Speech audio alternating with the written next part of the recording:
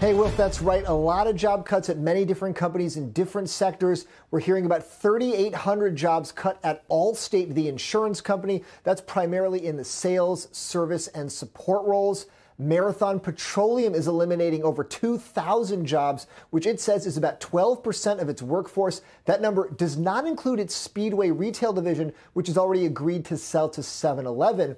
And Goldman Sachs is eliminating 400 back office roles, originally according to a report by Bloomberg. Uh, now that we've confirmed here at CNBC, the company saying in a statement at the outbreak of the pandemic, Goldman announced it would suspend any job reductions. The firm has made a decision to now move forward with a modest number of layoffs. And of course, Will, if we remember Disney with the giant layoff number yesterday. So this is many more companies here today. Will, back to you.